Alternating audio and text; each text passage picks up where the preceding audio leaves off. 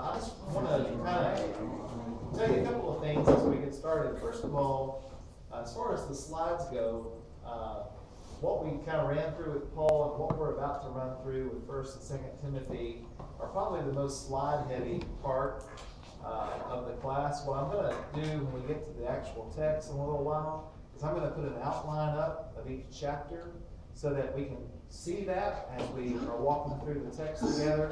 And so the text part, uh, there won't be hundreds of slides flying around because uh, I want us to just be able to focus on the word and, and uh, walk through that together. So as we indicated a couple of times earlier, I think there are two, there are other questions, but there are two primary questions that uh, are the most difficult to discuss with regard to these two letters authorship, uh, questions about did Paul write these two letters, and then occasion.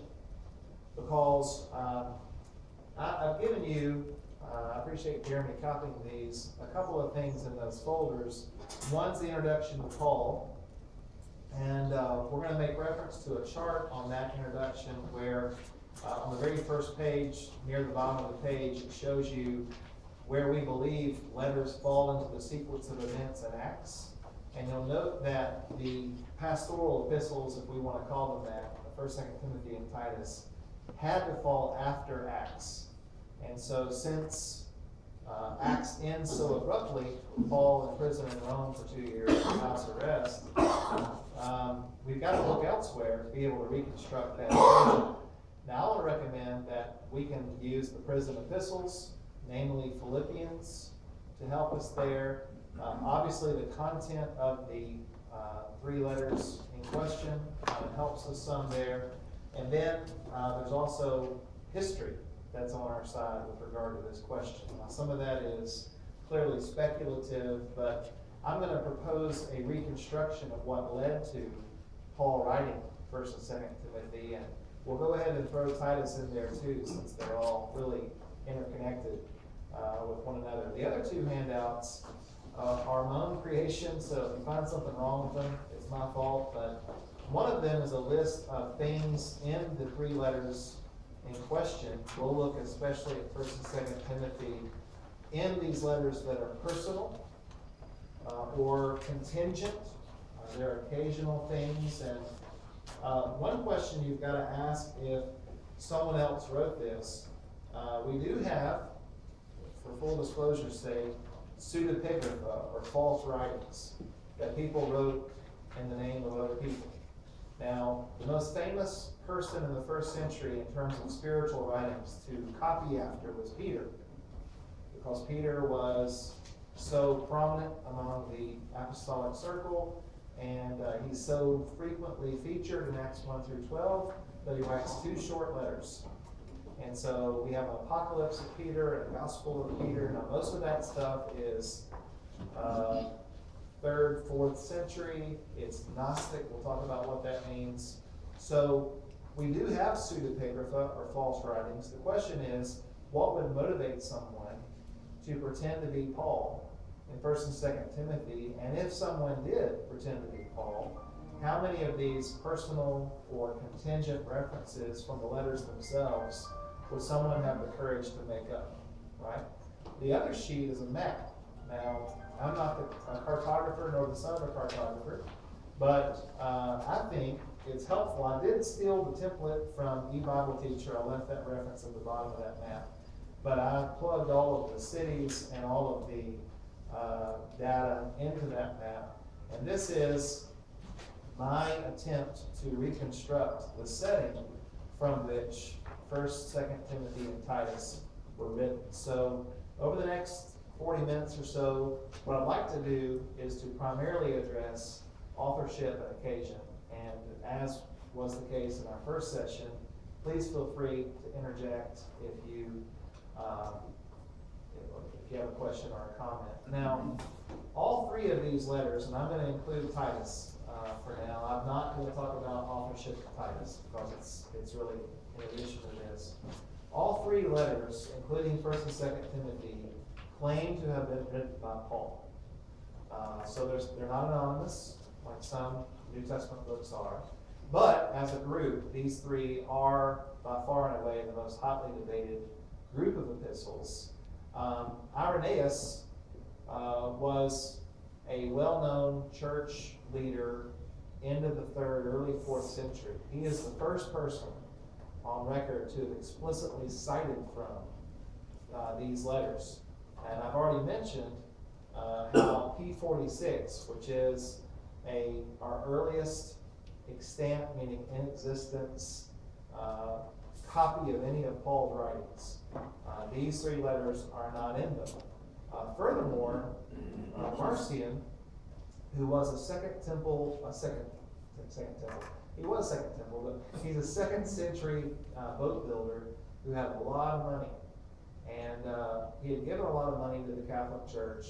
Uh, they excommunicated him because he had a heretical view that there are two gods, God of the New Testament and God of the Old Testament. And Marcion rejects anything that's Old Testament. And so he creates his own canon and includes a mutilated copy of Luke and 10 of Paul's epistles. And guess which epistles he does not want? He does not include the pastorals. Now, for me, that's actually an argument in favor of these letters. The fact that Marcion didn't like them makes me want to like them more.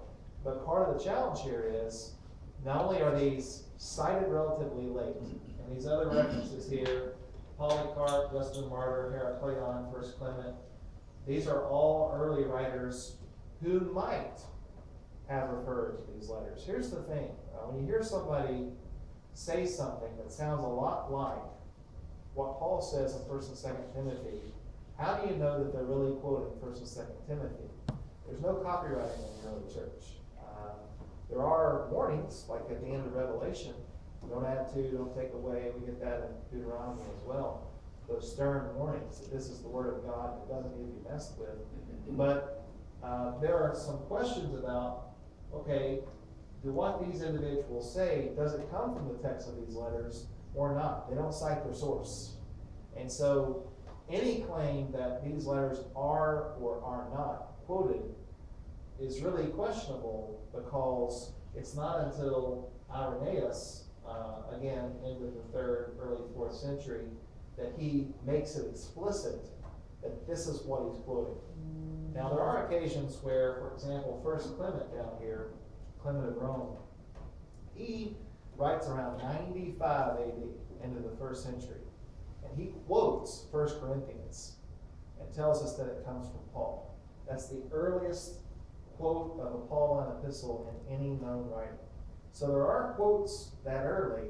It's just that most of the time they do not mention the author's name. So what I'm saying is these letters, 1st, 2nd Timothy, and Titus, might be quoted much earlier than Irenaeus. It's just that no one bothered to cite their source, and as a teacher, doesn't that drive you crazy? We call it plagiarism, right? And now that there's an internet, everybody likes to copy and paste and maybe not give credit where credit is due. Uh, you have this on the uh, first page of that Paul handout. My point is, again, uh, Acts ends abruptly, just like other New Testament books. You know, 1 John 5 21, little children keep yourself from idols. That's an abrupt ending. Or James 5 19 and 20 about uh, turning a sinner from the error of his ways is an abrupt ending. Acts ends really abruptly. And so, unlike any of the other letters that we might talk about in this collection, it's difficult to tie Timothy and Titus into Acts in the same way that we can the other ten. So those are two of the things. Typically, when people object to Pauline authorship, in First and Second Timothy, they're going to ask historical questions because of this. They're going to ask about vocabulary, or they're going to ask about theology. And the big theology question is: Could the church be so well established by the mid 60s AD? Because Paul traditionally believed to have died. Nero was killed in 68. So if Nero kills Paul and Peter, it has to be before 68. So most people have, uh, based on some evidences, suggested that Paul dies in 64 and Peter somewhere in 65 or 66. Whoops, I think I've reverted a little bit there. Sorry. Um, so there are questions about how all of that fits together chronologically, but I want as we look at that map, to offer a reconstruction for what might prompt Paul to write these letters. And then I'm going to give you the best objections the world offers for why Paul doesn't write these, and give you my responses, and we'll just chew on that until we need to eat more pizza. Okay? Uh, we know, okay, uh, even the most liberal Pauline scholar accepts Philippians as Pauline. The only question about Philippians is the community, but everybody accepts Philippians. So, what I like to do when I'm having a discussion with, in academic settings, you know, scholars, I'm getting sleepy thinking about it. Uh, I like to use books that they trust to prove that they can trust books they don't trust. So everybody accepts Philippians, and it's interesting that in Philippians, one of these prison epistles, Timothy is there in Rome with Paul. Near the end of Paul's, I'm going to say, first Roman imprisonment. Now, we know Paul is in prison in Rome at the end of Acts. Now, some out there are going to question Acts. They're going to say you can't trust the speeches and you can't really trust history because of what this ancient historian named Thucydides said about history being more of a summary and so people are going to question everything, but if you trust Acts, and I would recommend you trust Acts, um, it's clear that Timothy is with Paul near the end of Acts. And that's not only made clear in Acts, guess who else is there? Luke. It's part of the we section of Acts. I'm sure Brother Dan talked about that. Uh, but it's also clear that Timothy is with Paul in Philippians 2, which is probably the last of the four prison epistles Paul writes. Philemon lives in Colossae. So Philemon and Colossians and probably Ephesians were all sent at the same time from a Roman prison because Ephesians and Colossians have so much in common. But the reason I think Philippians is the last of the four is because in Philippians it's pretty clear Paul plans on visiting them really soon. And I could chase a rabbit here that I don't have time to chase about how Paul's plans have changed because before Paul was arrested in Jerusalem in Acts 20, in Acts 20, Acts 21, he was going to go to Spain. Remember in Romans 15? Paul said, I'm going to go to Jerusalem, I'm going to go to Rome, and I'm going to go to Spain. I'm going to drop off a collection for the poor in Jerusalem, pray that goes well. I'm going to come to Rome, a place I've never been, I'm going to impart a spiritual gift and preach there. And then I'm going to go on to Spain, preach to the Jew, the Greek, and the barbarian. Well, he does get to Rome, it's just not the way he planned.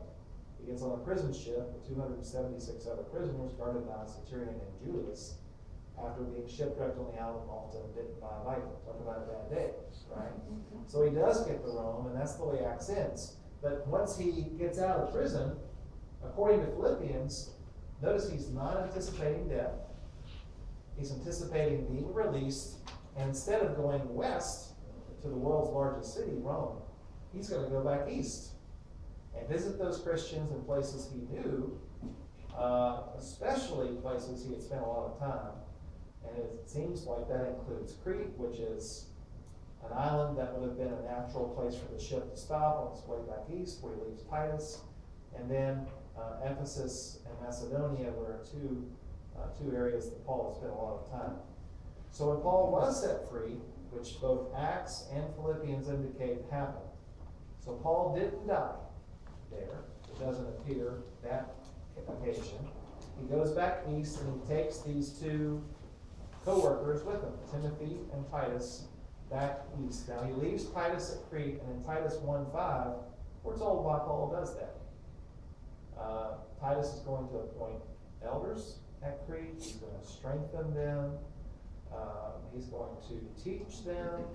Uh, many of the themes that we see in Titus are also in 2 Timothy it's just that Paul's tone in 2 Timothy is different. You can tell something's changed. And uh, what's changed is he's been arrested. I think we know, I think we can know from reading 2 Timothy, by the way, why he's arrested and who gets him arrested. And he's back in Rome. And now, he's not talking about being released. He's talking about, I fought the good fight, I run the race, I kept the faith. Uh, something's changed. So he goes, uh, this is where the map comes in, right? He goes uh, to Macedonia through Ephesus and encounters trouble in the, tr- the church. it's not that that happens in Acts 20. I think it's parallel to what we've already read about happening in Ephesus in Acts 19 and 20. Paul has to go to Macedonia, but he leaves Timothy there to assist them uh, at Ephesus in the same way Titus is assisting those Christians uh, on the island of Crete. So we even know from Titus uh, that he's planning on spending the winter at a place called Nicopolis. Now, there's some question about exactly where Nicopolis is.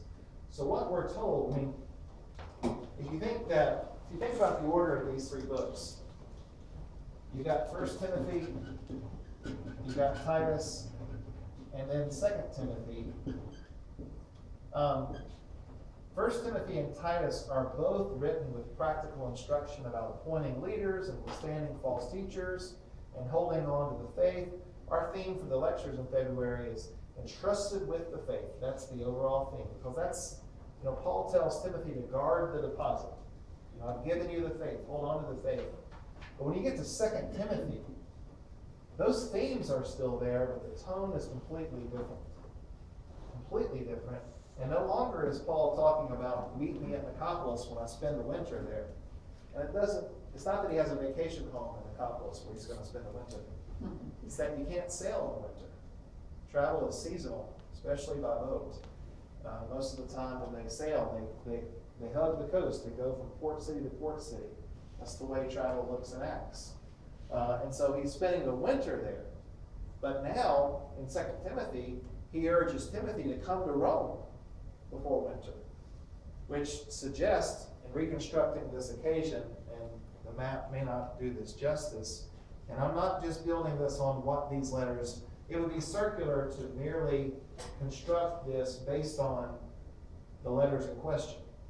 What I'm using along with the letters in question is the testimony of Acts and Philippians and church history. Now, what would the skeptic say? And, and I'm not pointing fingers. What would the person who questions whether Paul writes these letters or not say? Here are the objections. Uh, you can't fit that into Acts. Point taken. You can't. But what's the trajectory of Acts? And what's being indicated in the setting of Philippians in particular? A letter that everybody accepts.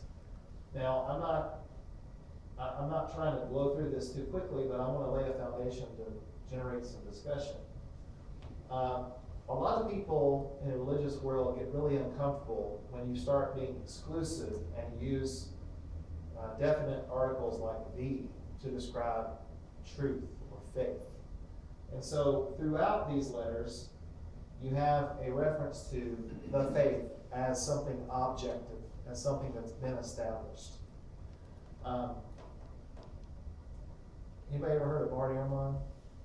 He's a religion professor at the University of North Carolina. He is really well known for writing books titled Lost Christianities or Misquoting Jesus. Uh, he's bought into a really popular hypothesis that uh, the Bible was written by people who wanted us to think that Christianity was uniform in the first and second centuries when he would say that Christianity was not uniform until Irenaeus in the third century.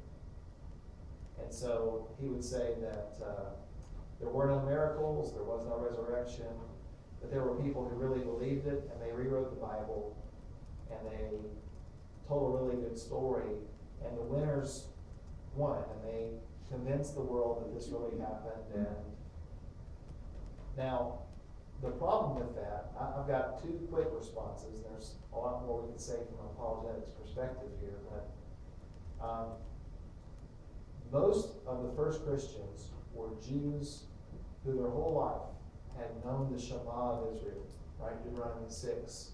Hear, O Israel, the Lord is one. The Lord our God is one. What would it take for a monotheist, someone who believes in one God, to look at another person and call him God?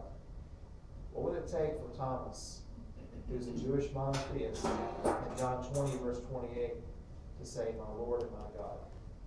What would it take for Peter uh, at the beginning of Second Peter to call Jesus God.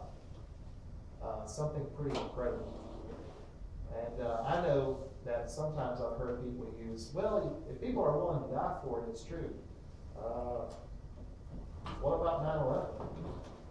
And there's people who are willing to die for things that aren't necessarily true. But are you willing to call someone God? Would you be a little skeptical if somebody came in and claimed to be God? What would it take? And it's not just they come in for two days to teach a class. You spend three years with them. You camp out together, you travel together, you see this individual when they're tired, you see them when they're when they're not resting well, when they're not eating, when they're being mistreated. You see them their very best their very worst. And at the end of that period, you call them God. What does it take?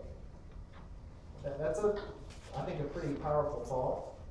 Uh, along with that, I would just recommend uh, that you have the manuscript evidence itself. Our oldest fragment of the New Testament goes back to 125 AD. It includes two verses from John 18. P52 is dated back to 125. That's, I think John's probably written about 85. That's about 40 years after the original. That's pretty amazing. And you've got a lot of literate Christians in the early church who know the scripture really well. And if somebody comes in claiming something or reading something or saying something that's not true, they've been taught to test the spirits. And so I'm not saying that everyone who questions the pastorals buys into that worldview. A lot of the objections theologically are responding to this idea that there cannot be what they will call orthodoxy. There cannot be an established faith that early. Furthermore, there cannot be an organized church that early. Because what they do is they'll look at the Roman Emperor Constantine, who converts with his mother to Christianity around 325 AD as a way of unifying Roman power. If you ever go to Israel, wear some Kevlar, right? Up 20 years ago. But uh, you're going to see church buildings everywhere that Constantine and his mama built to preserve the sanctity of the holy site. Now, not much holy about it. If you ever go to the Valley of Elah where David allegedly fought Goliath, we think it's the valley. There's a gas station there. It's a little bit disappointing. I was looking for the smooth stones and having a moment, and there's a gas station sitting there. It's not a holy land, it's the Bible land, and it's a dangerous. But uh, not, I don't even know why I was talking about that. Uh, but the, the, the point is, um, if you assume that it takes a long time for an established faith and an organized church to develop, then you have a problem First and Second Timothy. If you do not assume that, you don't have a problem. It's basically religious evolution. Yeah. Now, for example, elders.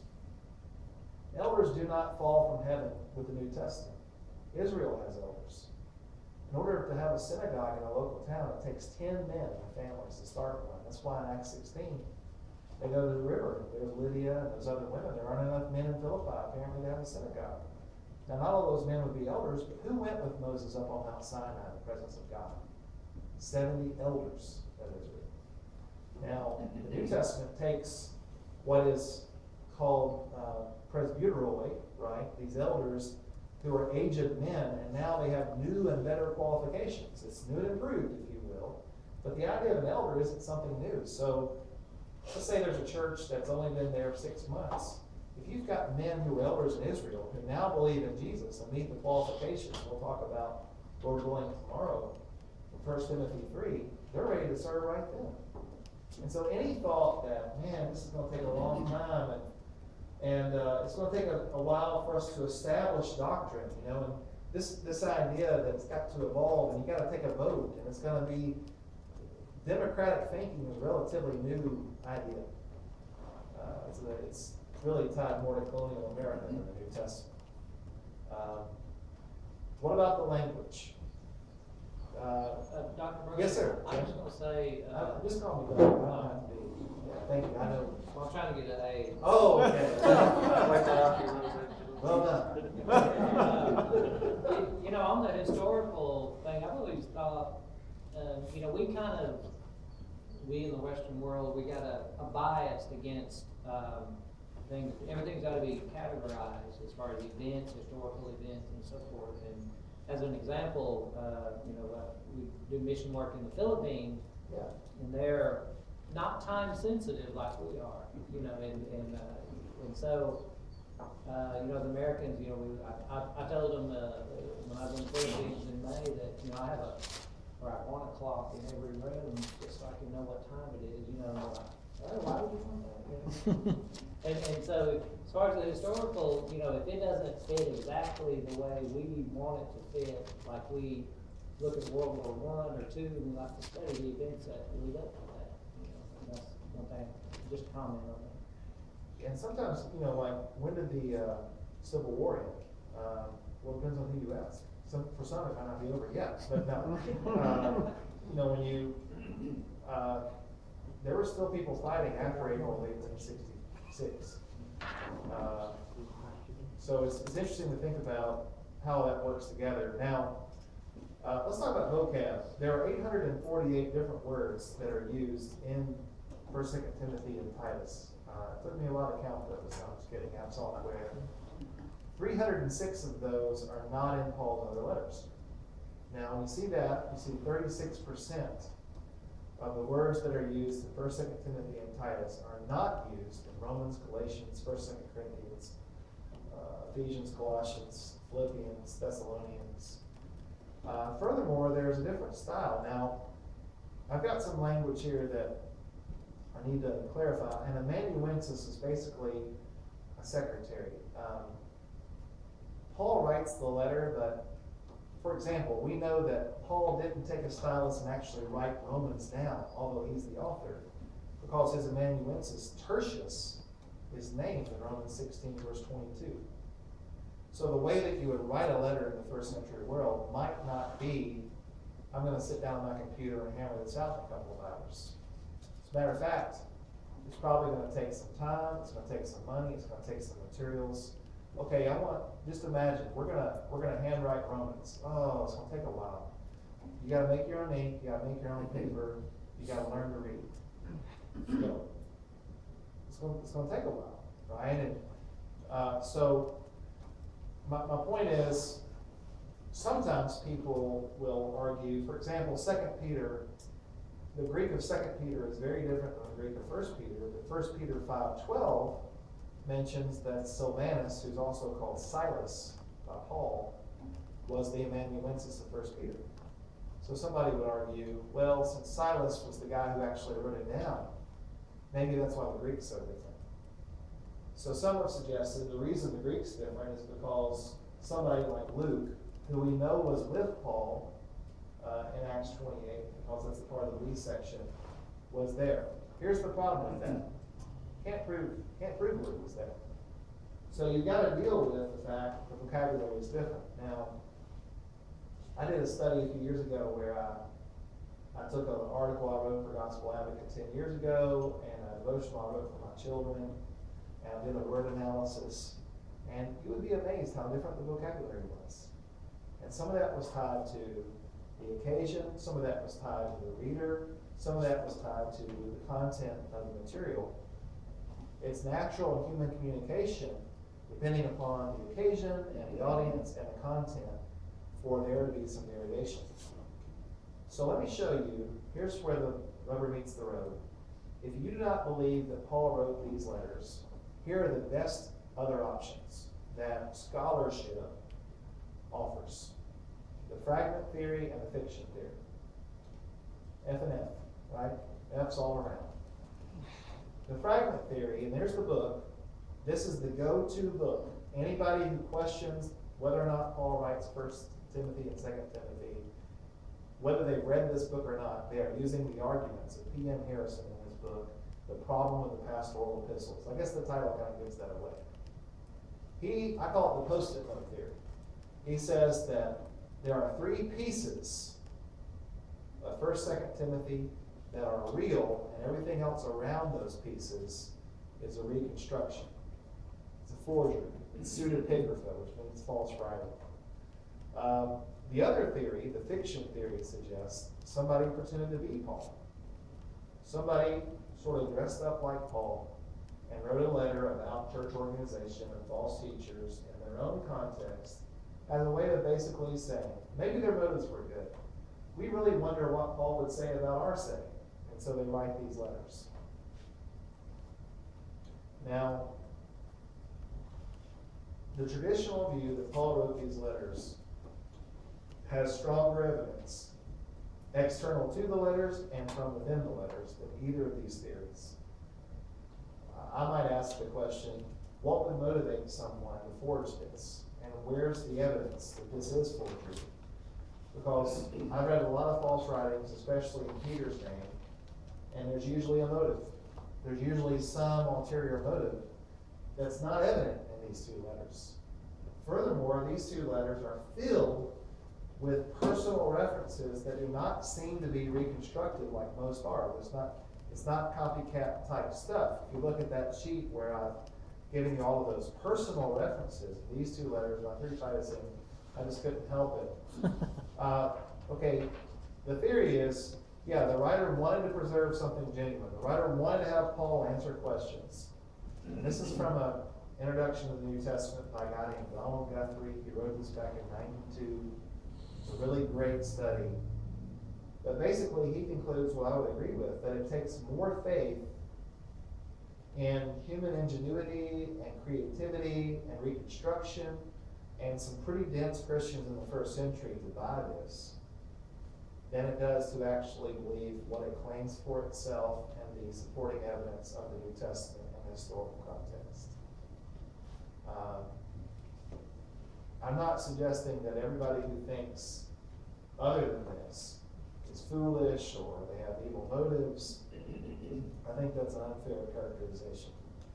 But uh, the evidence in favor of Paul being the author and the evidence that allows us, as is indicated on that little map, to reconstruct why this was written is really strong. I think Alexander, the coppersmith, we meet him in Acts 19. He shows up in the very last verse of the chapter we're going to spend some time in in just a little while, 1 Timothy 1, verse 20. And he shows up in 2 Timothy 4.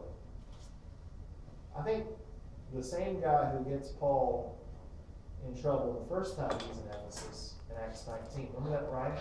Great is Diana of the Ephesians. Because suddenly idol sales are down. Because they're not believing in Artemis anymore, or Diana. Her great temple, one of the seven wonders of the ancient world.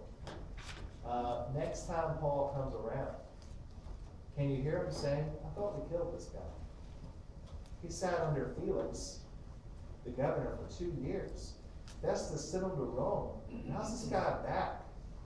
We've done everything we can to get rid of him. And I think, based on, again, the language of Acts, the language of Philippians, the language of these two letters, um, second time around it works. Paul gets sent to Rome, this time not based on the field, but uh, the Jewish leaders and the Roman leaders are frustrated with this guy because he won't go away. And we can't again, nail down how Paul dies, when Paul dies, but traditionally, around 64 AD, the summer of 64, uh, it's believed Paul was beheaded and buried in Rome. Uh, that's not Bible, that's history. Now, I will just throw this out there as a side note. Be careful in believing all the stories about how the apostles died that are not in Scripture. Acts 12, James dies. Trust that, you know. But uh, because nobody dies under a blanket uh, from natural causes. And, and some of that's legitimate. Remember how Jesus in John 21 warned about what was coming, for example, to Peter. Um, but tradition is Bartholomew was filleted to death. Is that true? Oh, sounds really exciting. And it's a way to sort of venerate these apostles, but it's not in Scripture. So I would just warn about putting too much stock in stories of, of how they died. Traditionally, Peter, they, he watches them drown his wife. It's the last thing he sees before they pluck out his eyes and by his own request crucify him upside down. Is that true?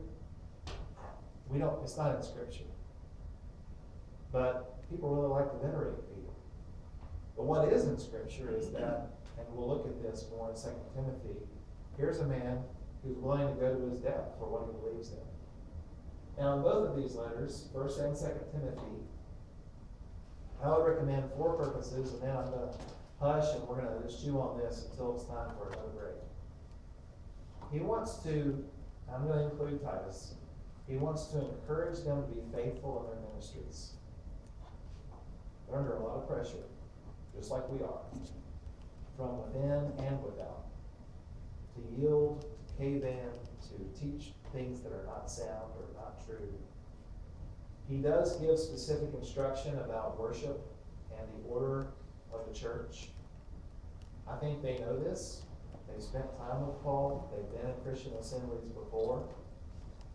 One of the questions that's going to come up when we get to the role of women in 1 Timothy 2 is was this just an Ephesus problem and a Corinth problem, or is this a problem for everybody? And I think we know the answer to that based on Genesis 2. We'll come back to that tomorrow, but um, these instructions are binding. They're not just Paul giving advice. Uh, and even in 1 Corinthians 7, I hear people talk about what Paul says, not I, or the Lord, not I, or I, not the Lord. Uh, Paul isn't saying there, this is just opinion. You can take it or leave it. It's not red letter. You know, that, that red letter stuff, every letter matters, whether it's not red or not, know. Uh, what Paul's saying there is Jesus didn't talk about this. Jesus did not address this question, but I, inspired by the Holy Spirit, am. And so what Paul says in 1 Corinthians 7 matters just as much as what Jesus says in Matthew 5. And recently I've, I've heard people actually say, oh, well, that's Paul. That's not Jesus, that's Paul. And I want to say, it's all God, right? It's the Holy Spirit. It's God inspired. It's gospel truth. So pitting Paul against Jesus is just foolish. You can't, you can't divide that. Well, my experience is usually when, when they realize that they're wrong, that's when they play that card. That's just what I've experienced, you know. Sometimes it, this, this uh, coherence contingency, I've got a friend right now I'm talking with who would argue that the instruction about uh, women in the assembly is contingent to a problem in Ephesus. And that's why Ephesians 5, and that's why 1 Timothy 2 address that. Now, I don't know what he would do with Corinth, the Corinthian question, because 1 Corinthians 11 and 14. But just the, you know, first of all, I'll, I'll just chase this rabbit and I'm going to hush, I promise. But um, we have bought the lie men are from Mars and women are from Venus. That's not God. Both genders are from God and made in the image of God and complement. We don't compete, we complement. But the effect of sin is competition. I mean, that's Genesis 3. Genesis 2 is order. Genesis 2 18 is I'm going to make a companion to help me suitable, and you're going to leave father and mother and cleave to one another and weave a life together. Uh, Genesis 3, just think about, I know this is, I told you I was going to chase a rabbit, but Genesis 2, just, just think God makes man, from man he makes woman,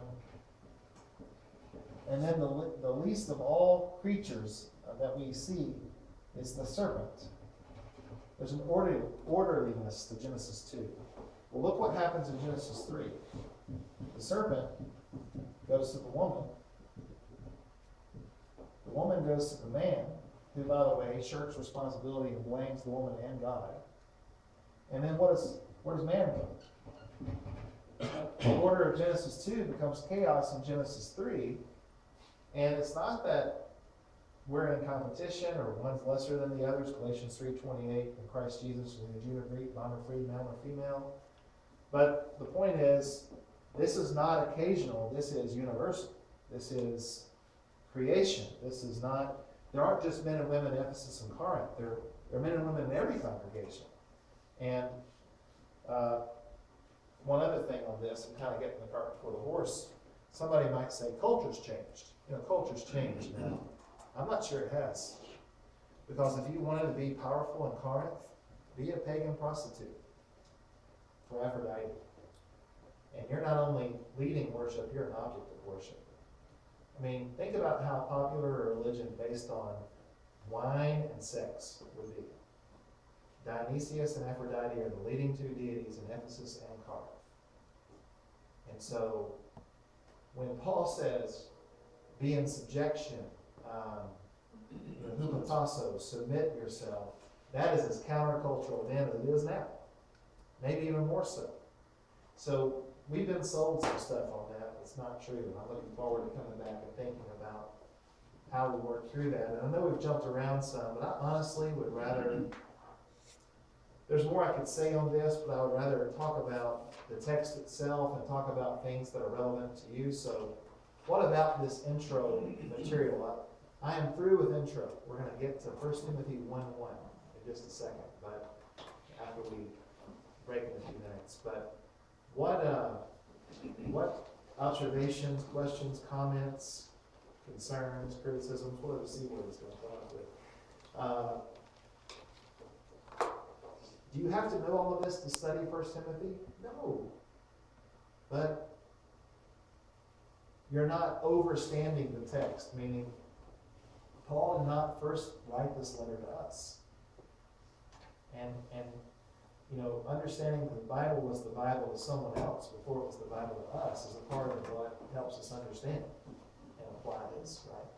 What questions, what comments? I've got more we can talk about, I'm gonna Do, do you think the, um, someone like, like Harrison and, and Boring and others who kind of reject the pastoral, uh, is based on, uh, some, trying to fit their theological beliefs and, you know, just, they don't like the, an eldership and the deep, you know, things like that? I, no, I think, uh, I think it's very easy sometimes to dismiss an argument by questioning a person's motive. And I know some really good people who believe this. And so, I don't think everybody's motivated by a lack of respect for God or a desire to do it the way they wanna do it. I think they see historical or theological or linguistic concern and, and for that reason raise some questions. So what I would prefer would be to, uh, look at what the text says that surrounds these letters, look at what history says. Part of the reason I wrote in this area when I was finishing up my schooling was to directly challenge this idea that the Bible was made up. And so, if you, if you have trouble sleeping, I've got a dissertation to offer you that will put you to sleep in five minutes. Um, I collated nineteen manuscripts, which means I compared what the manuscript said with the Greek text, and I noted every difference. Where we knew that one relation, one manuscript came from another. And the whole point was, when I know that this is a copy of this, what changes were made and what can I learn from those changes? And what you see is there are very few changes. And most of those changes are either accidental or they are trying to make the scripture even clearer to the reader. And if anything, there's not some grand conspiracy to make up things. There is an effort to be as accurate and easily understood as possible. And that's universal until the printing press is invented in the sixteenth century. From the second to sixteenth century, male and female scribes, uh, is probably our most famous female scribe, but they copied the text as faithfully as they could with a devotion to God. And that's a very different story than we sometimes hear from the world around us, that wants to have some Da Vinci Code theory jump out and say, this is all Hollywood's flash and smoke and mirrors, and obviously something happened that changed the life of those monotheists. So, Can I ask you a question about Titus? yeah, yeah, ooh, Titus twenty-five, yes, sir. uh, about, uh, him wanting Titus to, uh, get things, you know, to get some elders appointed. Um, you know, sometimes you'll hear, at least I've heard, you know, how that can relate to process that's used. What's your thoughts on that? I think that it's interesting to compare what Paul instructs Timothy and Titus to do as his students and as itinerant ministers in local settings compared to what we see in Acts, where uh, the church appoints these leaders. You know, even when the apostles are busy studying the word and can't uh, wait on tables for those Grecian widows in Acts 6 and 7, it's the church that finds those seven spirit-filled men like Stephen and Philip that do that proto-deacon work, even though they're not called deacons. So, uh, I know that in certain uh, pockets, even of the churches of Christ, there's this idea that the preacher ought to run things. Uh, that's not Bible, Yeah, I've never believed that, you know. you know. But, uh, I would say that, um, of course, if you don't have elders, that's a challenge. Um, the preacher's not an employee alone, he's an evangelist. Uh, not everybody's an evangelist. Ephesians four says some are evangelists, some are pastors and teachers. Uh, and so I don't view the office of an evangelist as authoritative like I would an elder. I would view it more as a deacon. I am a deacon at Estes. I work with the college group and with the uh, local evangelism, but I'm also a preacher. And I think both of those are roles of service. Now, the role of an elder is also a role of service, but it's also a position of authority where under the headship of Christ, the chief shepherd, those decisions are made. So I view the preacher as a potential facilitator of the process, but not automatically an elder. Could be, uh, not automatically an elder and not, um, not a mediator between the congregation and the elders either. I don't view it as a stepping stone. Well, I always viewed that verse as, as, and, and, you know, growing up and hearing men a whole lot smarter than I'll ever be talk about that, as that, that he was not the one that went around and appointed, but he was there to teach and get that done, start the process. And, and as you said earlier, as the congreg, as the church did with deacons, get it done, Titus. Yeah, I think any model that has Titus going into a back room and coming out with some names Yeah. and saying, okay, church, here they are, Yeah, would be, I mean, first of all, one of the qualifications is they're willing to serve. And so you've gotta have some communication happening there, and the congregation's involved in that. sure. I think part of the problem, and I'm, I may chase a rabbit here, I'm sorry, but part of the problem is, you know, there are three words used for elders, and there are three functions associated with that word. And it's easy to view elders, and we even pray this way sometimes, be with them as they make decisions. Well, that is a part of their job as uh, administrators, episkopos. Um, but they're also overseers, presbyteros, and they are shepherds, poimenos.